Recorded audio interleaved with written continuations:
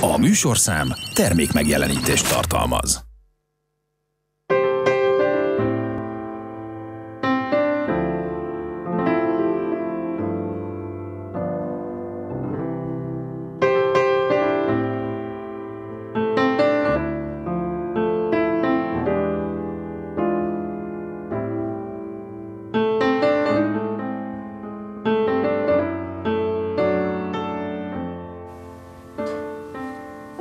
Szép estét kívánok, köszöntöm a Fehérvári Beszélgetések nézőit. Folytatjuk sorozatunkat, amelyben a Fehérvári jelen sportlegendáit mutatjuk be. Ugye büszkén mondhatjuk, hogy Székesfehérvár sportváros, és ezt a jégkorong csapat folyamatosan bizonyítja, nyilván a többiekkel együtt, de hát most ennek van rendelt ideje, vendégem Erdély Csanád, a válogatott ékessége, és a, volán, most nevezzük volánnak a Hydro AV19 fantasztikus centere.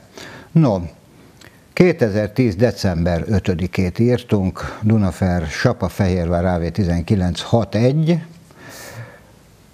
góllövő Szepesi Máté, az asszisztot Erdély Csanád adta, góllövő Erdély Csanád, Szepesi Máté visszakaptad, aztán Szepesi Máté, Erdély Csanád az utolsó három gól, ez így született ebben a sorrendben. Tehát Dunai városi, egy Dunai városi fiatalról beszélünk, aki megtalálta azt a sportot, ami azt hiszem, hogy a 21. század sportja mindenképpen.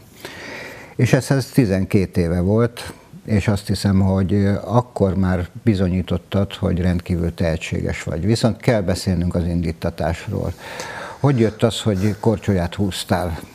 Igen, hát először is köszönöm szépen a meghívást. E, e, igazából akkor még, amit itt a, a felvezetőben mondtál, akkor még ugye a Dunajvárosi színekben a Volánnak lőttem a gólokat és a, a gólt. E, hát az egész az egészen kicsi koromtól kezdődött, hat éves, öt vagy hat éves voltam talán, amikor legelőször lekerültem jégpályára Dunajvárosban, és Habár az első élmény annyira nem volt jó az a jégpályával kapcsolatban, mert nem tetszett maga a jég, a közeg, de utána a szüleim munszolására kitartottam, és, és milyen jól tettem, hogy kitartottam. Ki volt az a mestered, akire szívesen emlékezel, aki az alapokat megadta ahhoz, hogy a magasságokba emelkedhess? Hát Dunajvárosban nagyon sokáig volt Faragó Gyula az edzőm, ő az, aki gyakorlatilag vele elkezdtem a jégkorongot, és utána a Dunajvárosi éveim után az utizanatos korosztályból ba átlépve Kercsó Árpád alá kerültem, és az ő vett így a szárnyai alá, így mond, itt Fehérváron és az akadémián és utána még volt eléggé sok edzőm az évek folyamán. Tyler Dietrich, a, a Volánnak volt U20-as, Ebel U20-as edzője is, és hát még meg annyi edző. Mi volt a folyamatos fejlődés záloga? Hiszen az gyorsan kiderült, hogy tehetséges vagy rendkívül. Ugyanakkor a jégkorong az a sportág, ahol a szorgalom nélkül a tehetség mit sem ér. Igen, tehát abban a szerencsés szituációban voltam, hogy ez a 95-96-os korosztály, ez, ez elég kimagasló volt abban az időben is, tehát ez a 11-2 évesen már elég jó bajnokság, bajnokságok voltak magyar szinten, és nagyon jó meccseket játszottunk egymással. Ez volt szerintem az egyik kulcsa. A másik nagyon fontos összetevője pedig az volt, hogy én 96-osként többnyire, általában minden második évben játszottam a 94-esekkel, illetve a 95-ösökkel. Tehát ott fiatalként, főleg ilyen kamaszkorban az nagyon sokat számít egy játékosnak, hogy, hogy egy-két évvel idősebbek ellen tud játszani, és ott is fel tudja venni a versenyt.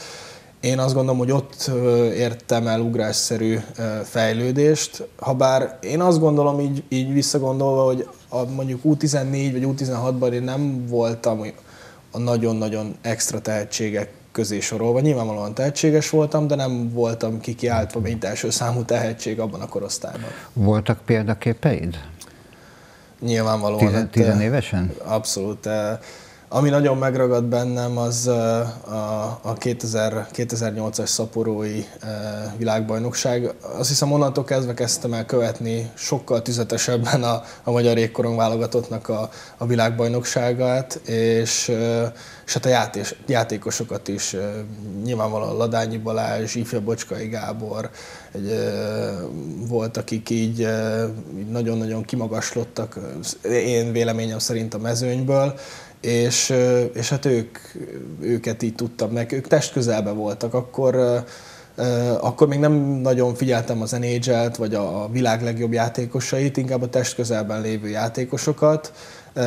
Aztán később majd nyilvánvalóan jöttek azok a játékosok is, mondhatnám mondjuk Sidney crosby aki, aki nagy hatással volt rám, és, és figyeltem a, a játékát. Tehát Ladányi és Ocskai, tehát egy Dunajvárosi és egy Bolános. igen, igen, igen, igen. Mi hozott Fehérvárra, hiszen 2013-ban kerültél ide, 17 esztendősen. A kercsófiókák közül sokan választották Fehérvárt, ez nyilvánvaló. Igen, ez akkoriban úgy történt, hogy az U16-os bajnokságban már Dunajvárosi utánpótlásnak voltak olyan problémája, hogy nem, nem, nem tudott kiállítani teljes csapatot, tehát volt a Fradival is kooperáció egy időben és, és egy olyan szituáció adódott, hogy nagyon-nagyon nehezen tudott volna az újváros kiállítani csapatot abban a korosztályban, ahol én tudtam volna vitézkedni.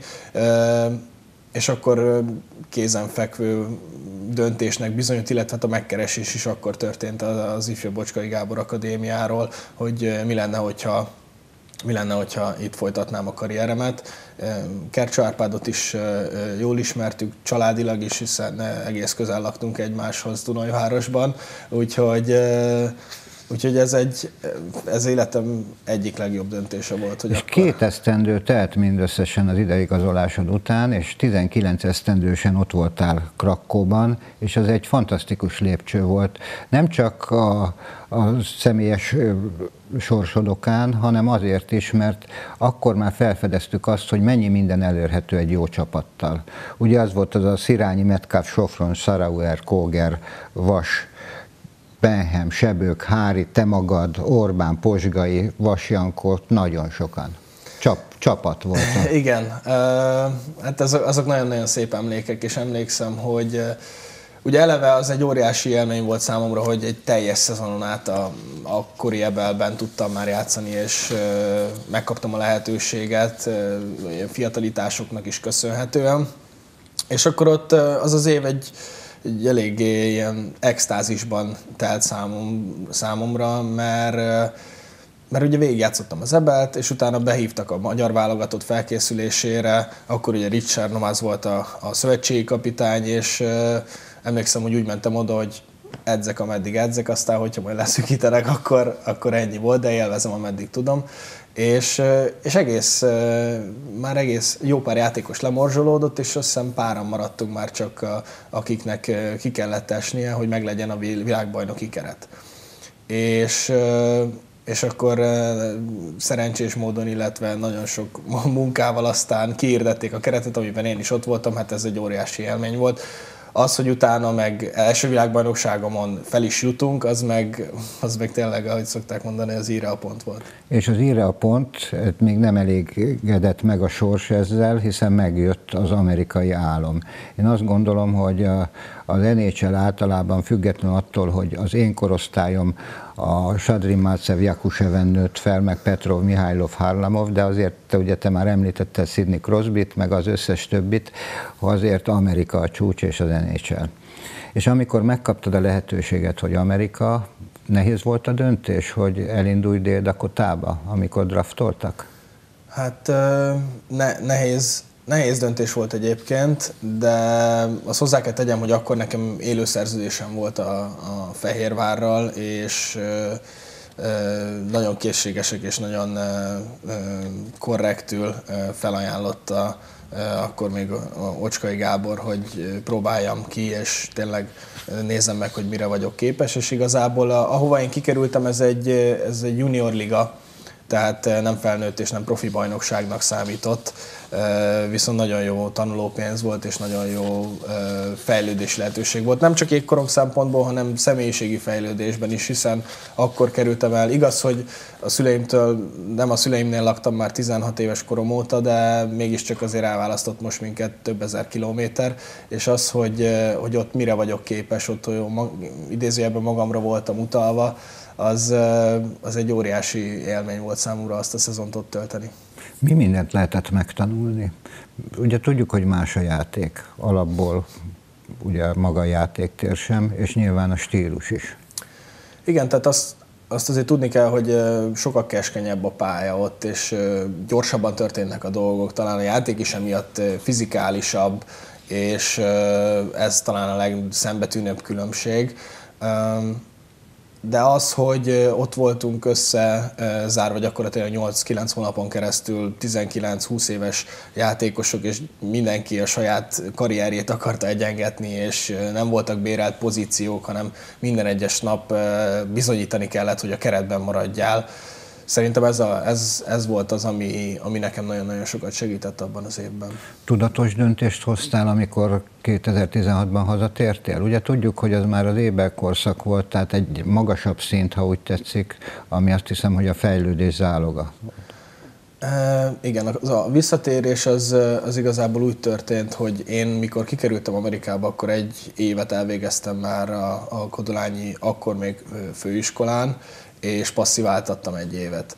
Na most azért is döntöttem a visszatérés, mert egyrészt nagyon-nagyon szerettem volna újra az Ebelbe játszani az osztrák ligába, másrésztről szerettem volna befejezni a, a, a tanulmányaimat, és hogyha azután az év után nem térek vissza, akkor nem tudtam volna ezt megtenni viszont fantasztikus szezon zártál egyből, hiszen voltál a hónap fiatal játékosa, a középszakaszban számtalan gólt lőttél, ez megerősítést jelentett neked, hogy jó döntést hoztál, illetve a, a volán lehet a jövő? Abszolút.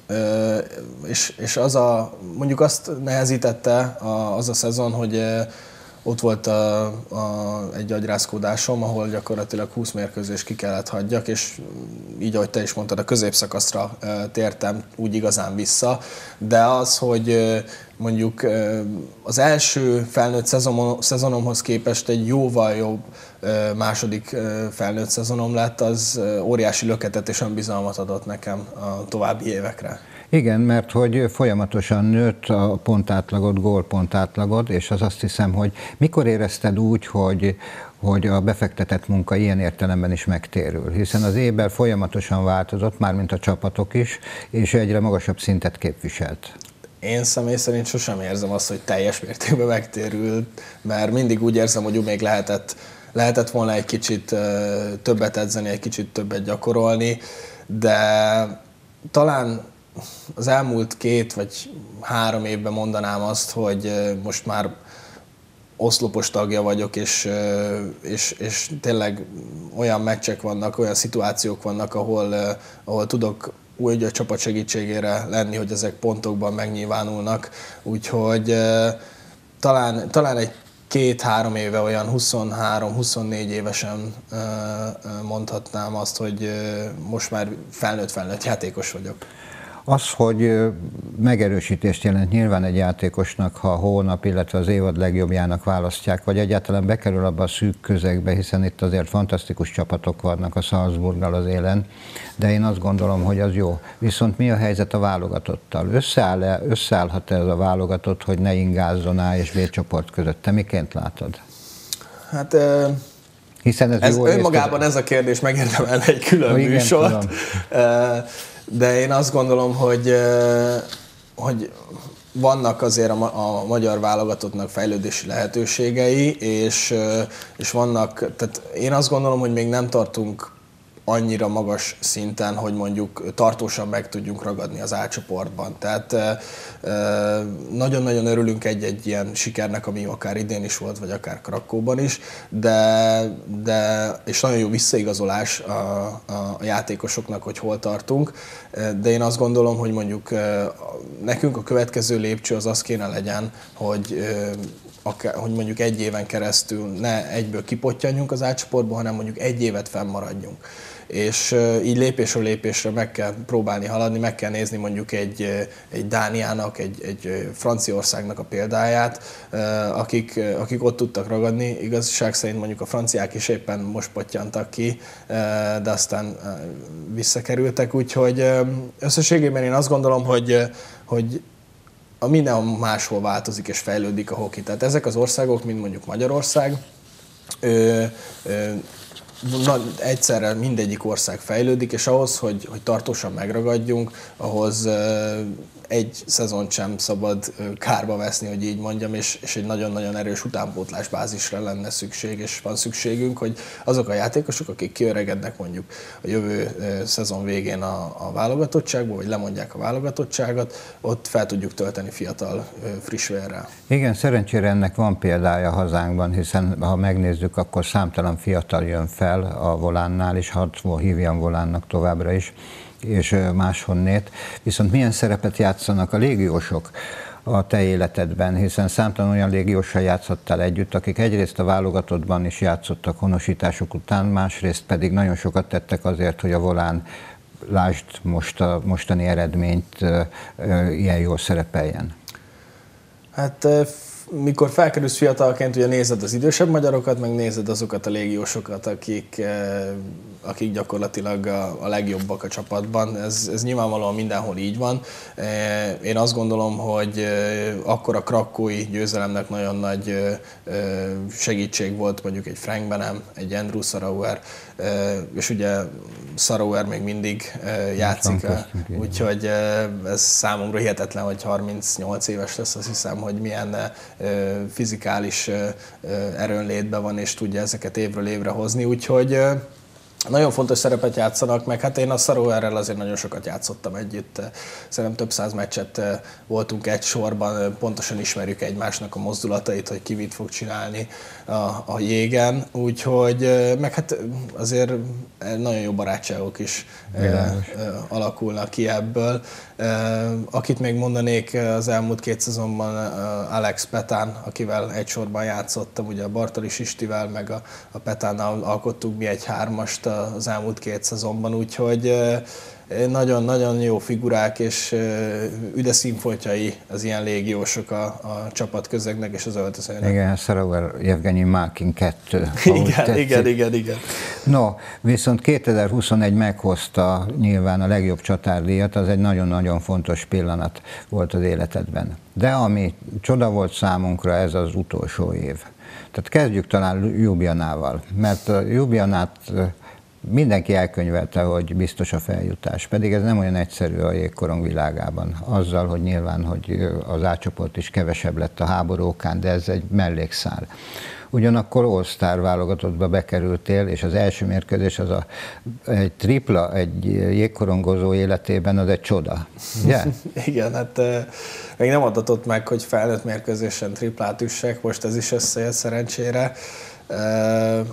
De igen, visszatérve a, a kérdésed első felére, hogy mindenki elkönyvelte. Persze, én, a laikusok meg a média el tudják könyvelni, hogy, hogy ez egy biztos feljutás, viszont szerintem bármilyen sportág, sportágról vagy csapatsportról beszélünk, a, a legegyszerűbb meccsek, vagy az elkönyvelt meccseket a legnehezebb hozni. És, és hát ez, ez így volt gyakorlatilag ezen a világbajnokságon is. Ugye ott volt egy, egy litván, akivel mi számoltunk mi játékosok, de senki más rajtunk kívül, hogy ez egy, ez egy jó csapat lesz, és ez egy nagyon-nagyon fognak küzdeni azért, hogy ők nem csak azért kerültek ide föl, mert mondjuk a háború miatt föltolták őket a Divízió 1 per A-ba. Uh, úgyhogy az is egy nagyon mér, nagy, nehéz mérkőzés volt, meg hát uh, mi úgy készültünk a délkorai meccsre, hogy akkor az lesz a döntő. Tehát, hogy ott, ott dől el az, hogy ki fog feljutni az átcsoportba. És, hát, és az lett a sima? És hát igen, így utólag, utólag, utólag simának tűnik, de azért voltak ott is meleg pillanatok, meg, meg én azt gondolom, hogy a, hogy jókor jöttek a gólok, meg azért folyamatosan szinten tudtok tartani őket, meg nagyon jó támadásokat vezettünk, de de ki gondolta volna ezt, amikor mondjuk a Káposztás megyeri jégcsarnokban egy héttel ezelőtt meg Így. kikaptunk ellenük, tehát Így akkor meg mindenki elkönyvelt, hogy jó, hát akkor idén se lesz fejlődés. Ráadásul ez a siker, amit mondom, hogy számunkra természetes, hogy azt mondjuk, hogy egy fantasztikus siker, tehát nem adtuk oda előre, tehát ezért meg kellett dolgozni. viszont a Fehérvár egy teljes év alatt bizonyítottátok, hogy új szintre lépett a csapat. Ugye itt mindenki odaadja az aranyérmet az első helyet a Salzburgnak előre, de azért most ez nem volt ilyen egyszerű, és egész évadban bizonyítottátok, hogy ott van a helyetek a döntőben. Igen, ez is nagyon érdekes, hogy mindenki uh, úgy vélekedik a Salzburgról, mint hogyha éveken keresztül megnyerte volna a bajnokságot, de egyébként ők is nagyon-nagyon Igen. sokat vártak erre, azt hiszem négy vagy öt évet vártak erre az első uh, helyre, és hát ők is tudatosan építették fel a csapatukat, tehát folyamatosan csak egy-kettő játékos mozdítottak el, és cseréltek ki a, a, a szezonok alatt. És hát nekünk is összejött az idei szezonban, amit, amit szerettünk volna elsősorban, hogy tovább jussunk az első körben. És ha már ott voltunk, akkor evés közben jött meg az étvágy, és elmentünk a, a, a döntőig. Úgyhogy hát hihetetlen jégkorong folytott az utolsó egy hónapban. Szerintem karrierem során a legkomolyabb és a legjobb minőségű jégkorongot játszottam akkor. Ez mennyire edzőfüggő? Hiszen azt láttuk, hogy a sorok helye közel összeálltak, a, a védők, a csatársorok egyaránt, a légiósok, az idősebb játékosok és a fiatalok egyaránt beépültek ebbe a csapatba, abba a rendszerbe, amit a mesteretek kitalált, viszont ő valami újat hozott. Hiszen volt itt már északi edző, tehát Svédország, Finn, stb. stb. És ez egy kicsit más stílus, a Kanada, illetve az Amerika. Igen, volt már részünk ilyenben, a, kanadai, illetve észak-amerikai Észak-Amerika, stílus pontosabban, igen. igen. Viszont ilyen részletességgel, még szisztémát én nem játszottam, és nem gyakoroltam, és nem tanultam, mert Kevin Konstantin, mikor megérkezett ide tavaly augusztusban, akkor egy nagy könyvet adott nekünk gyakorlatilag, és minden napunk úgy telt, mint az iskolában, hogy beültünk a padba, megtanultuk az adott leckét, és akkor másnap írtuk belőle egy dolgozatot. És akkor még nem értettük, hogy ez, ez miért van, vagy hogy erre miért van ekkora szükség, és azt mondta, hogy nyugodjunk meg, november, legkésőbb novemberre már mindenki betéve fogja tudni a teljes szisztémát, és gyakorlatilag mindenkinek a zsigerébe lesz az, hogy hol a pályán, milyen szituációban mit kell csinálni. És szerintem ez köszönt vissza a játékunkban is, mert nagyon-nagyon egységesek voltunk, és nagyon mind az öt játékos egyszerre mozgott a pályán támadásban, védekezésben, és emellett pedig kombinatív maradt a játékunk, tehát tudtunk ugyanúgy gólokat lőni. A másik nagyon fontos dolog, amit említette, hogy összeálltak a sorok. Talán egy vagy két személyi cserék történtek, az is sérülés miatt a sorokban a szezon folyamán. De amikor eljutottunk a rájátszásba, és elkezdődött volna a rájátszás, pár nappal előtte volt egy csapatmeetingünk, ahol gyakorlatilag már a keret, hogy kik azok, akik végig fogják játszani ezt a playoffot, az, azok hogy fognak összeállni, és, és tartottuk is magunkat ehhez. Hál' Istennek ott a rájátszásban el is kerültek minket úgy a sérülések, úgyhogy én, én megmondom őszintén, én lubickoltam ebben a, ebben a közegben, és jól éreztem magam. Hát kinyílt a világ nyilvánvaló egyik oldalról, másik oldalról ez a válogatott számára is rendkívül fontos, hiszen egy-két játékos cseréjével azt hiszem, hiszen a volán a meghatározó, tehát az, az nem lehet vitás a válogatottban is. Mit hozhat a jövő? Mikor kezditek a felkészülést, és van-e olyan cél, amit kitűztél személyesen magadnak? A felkészülés most is zajlik, ha bár egyénileg nem csapatszinten, azért mindenki a konditeremben most, most gyakrabban látogatjuk a konditermet, mint a jégpályát, de úgy, mint csapat, úgy augusztus elején fog összeállni újra a keret, a edzőstől, a teljes tábostól és légiósok is akkor érkeznek meg. Úgyhogy, mert ez egy elég feszített tempó lesz a jövő szezon is. Ugye a BL szereplésünk kezdődik szeptember elején. És ez újdonság lesz mindenképpen. Így van, így van. Hát első ízben van magyar csapat ebben a kiírásban, és egy elég jó kis csoportot kaptunk ki a Zürichnek a, és a Rögle, illetve a Katowice, a három csapat, akivel egy kalapba kerültünk, illetve egy csoportba Úgyhogy ez egy nagyon jó kis felkészülés lesz, nem tét nélküli felkészülésünk Igen. lesz most idén gyakorlatilag az Ice Ligába. amit, amit iszonyatosan várunk, és tényleg az, hogy ebben is zászlóshajó tudunk lenni, mint volán, hogy először szereplő magyar csapat a BL-be, ez is óriási megtiszteltetés, és élvezni fogjuk minden egyes pillanatát.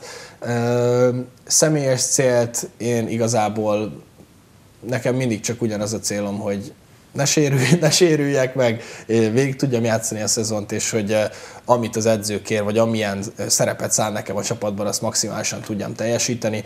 Azért most egy kicsit más szituáció lesz, mert Igen. már egy éve ismerjük az edzőt, ő is ismer minket, azért annyi személycsere nem történt, mert azért viszonylagosan sikeresek voltunk, mert eljutottunk Igen. a döntőbe.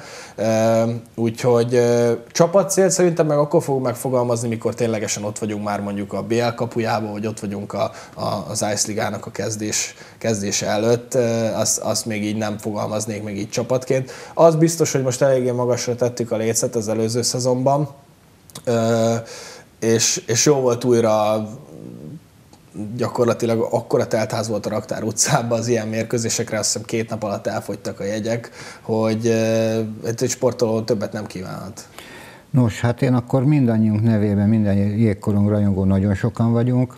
Egyrészt tehát a bajnokságban döntő, az Ice Ligában, a bentmaradás az S, az átcsoportban, aztán mit kívánjak még, a legjobb csatárdi az alapvetés, és természetes azt, hogy ha felépül, mert nem sokára azért új otthonra lehetek, akkor teltház, nincs kétségem fele, hogy teltház vár benneteket. Abszolút, abszolút. Mi is azt várjuk, hogy, hogy én azt gondolom, hogy a, a fehérvári és a magyar közönség is megérdemli, illetve a jégkorok szeretők itt Fehérváron nagyon megérdemlik, hogy egy új csarnokban tudjanak játszani mi is iszonyatosan várjuk, és hát nagyon jól is halad, úgy tűnik.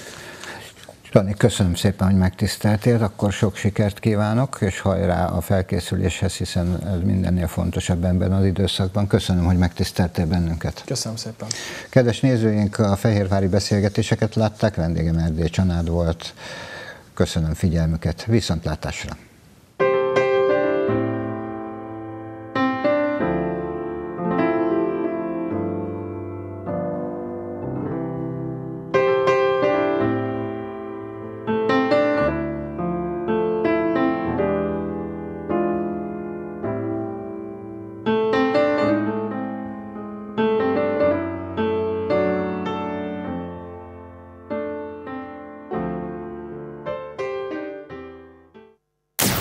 Műsorszám termék megjelenítést tartalmazott.